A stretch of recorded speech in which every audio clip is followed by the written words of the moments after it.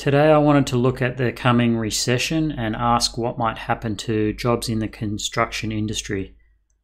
I'll talk about why the next recession is coming, what happened to engineering jobs in the past, and I'll tell you what it was like working as an engineer through the great financial crisis.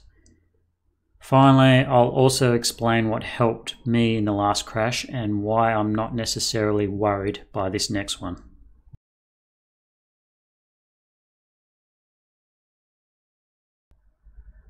So I think it's pretty clear by now that we're heading into a recession or we already are in a recession, given what's been happening with the virus and the recent price war on oil between Russia and Saudi Arabia.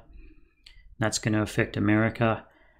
It's been over 10 years since the last one, and up until now, if you look back, and you'll see this in the chart in a minute, usually every 8 to 10 years there there's a recession, so we're overdue.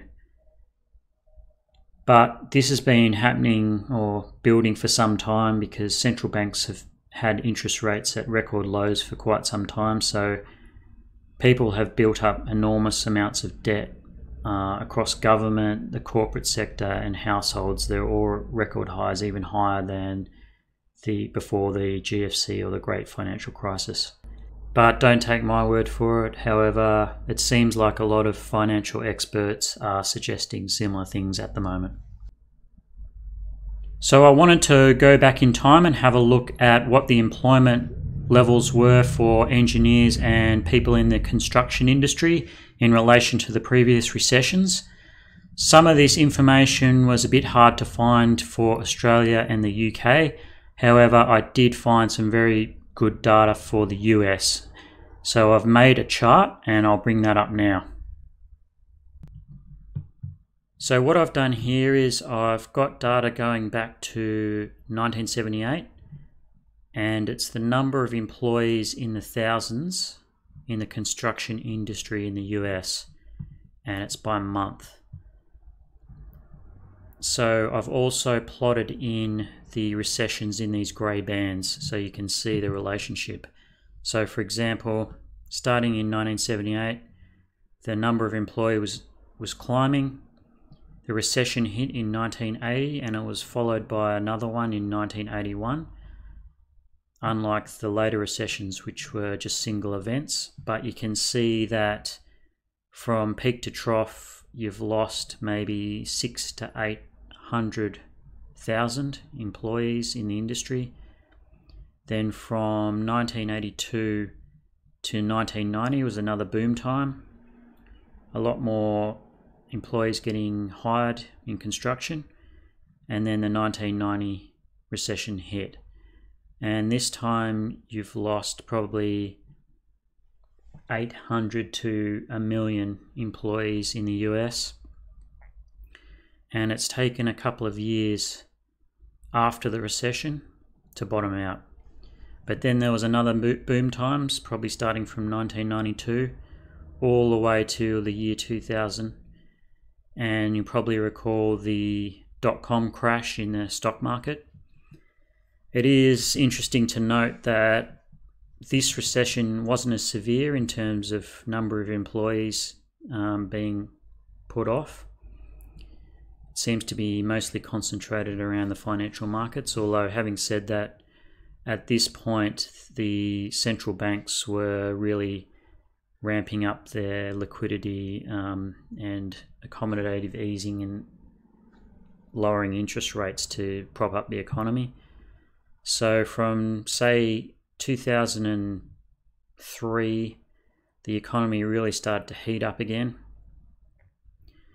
And then it plateaued a little bit, and then you got into the great financial crisis. Interestingly enough, the number of employees started to drop just beforehand although you never can quite tell in the midst of it um, whether the official recession started later and the effects were being felt in the industry beforehand, which is obviously the case here. But that was a very big drop. So you've lost, you know, maybe 2 million people in the construction industry in that time. And then starting from 2010, you've had another massive, massive boom, and we've almost got up to the peak, the previous peak that we had in 2007. But it's pretty clear to see that roughly every 10, 8 to 10 years, you have a recession. And the period from now to the next one, the current one that's about to hit, has been quite a long time. So if we have a new recession in 2020 shown by this future grey bar, we would expect the number of employees in construction to pretty quickly start dropping off. Whether it's the magnitude of the year 2000 or hopefully not the magnitude of the great financial crisis, no one really knows at this stage. So on to the next chart, which only goes back to 2006. But again, I'm showing the recession in that grey band, the 2008 Great Financial Crisis.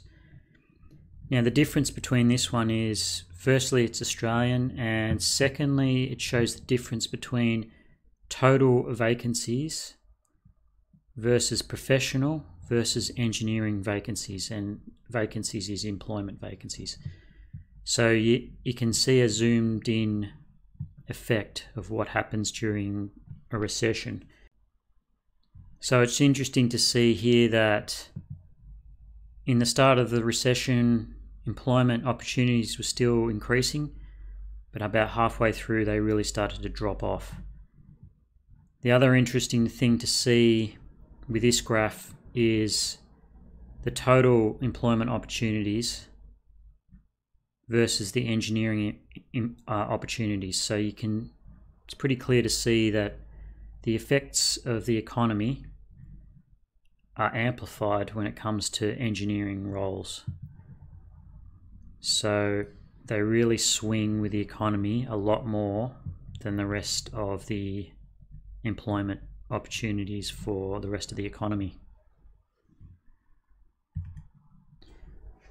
So I'll talk about my experience and what I've heard from others in the industry over the years.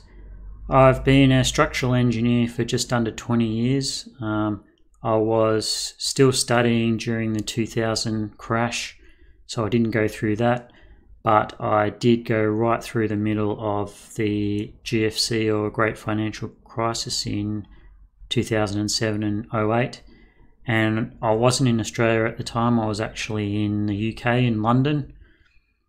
I'd always wanted to work in the UK, so once I'd graduated and I'd worked in Australia for a bit over three years, I decided to head over there. Around that time, and that would have been about 2006, the industry was pretty much red hot. There was a lot of construction work going on around the world, and the UK was no exception. So there was a lot of demand for engineers of all types at the time. At the time over there, it was common for engineers to go on contract, which means you get a bit more money. And I'd been in contact with one recruitment agency, and within about two weeks, by the time I landed over there, I'd already had eight interviews lined up.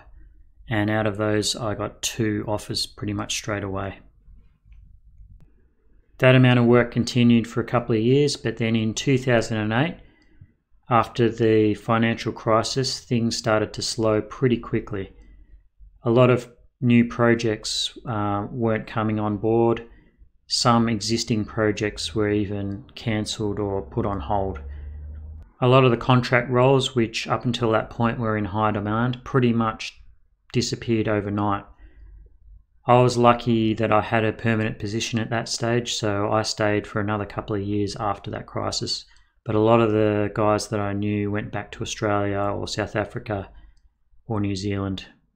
I also noticed on projects I was working with the architects, a lot of the junior guys decided to leave, and some of the senior guys took pay cuts, elected to take pay cuts to keep the firm running to but they were allowed to keep their jobs as well. So it was pretty intense at the time.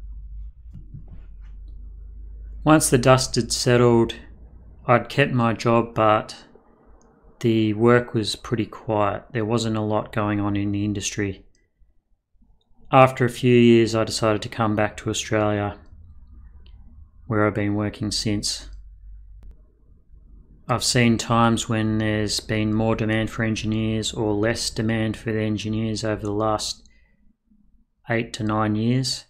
Recently, though, I would say that it's got to that stage that I remember what it was like back when I went to London, in that it was really pretty much red hot again.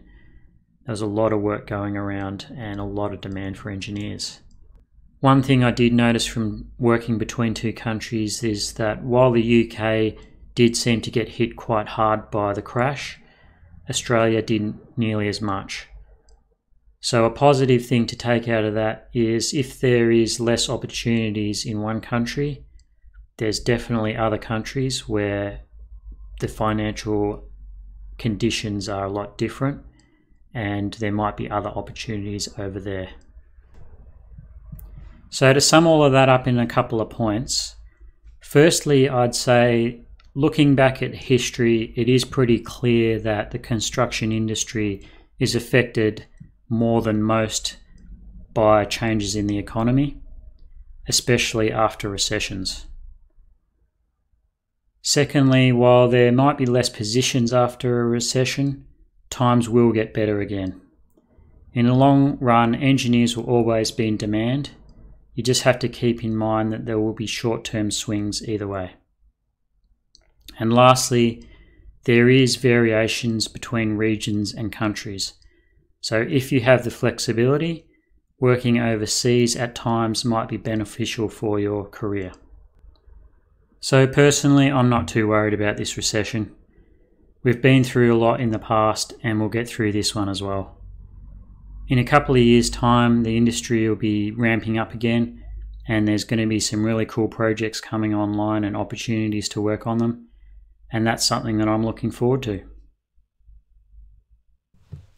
Thanks for watching this structured parametrics video. Leave a like or subscribe if you found this useful and we'll see you in the next one.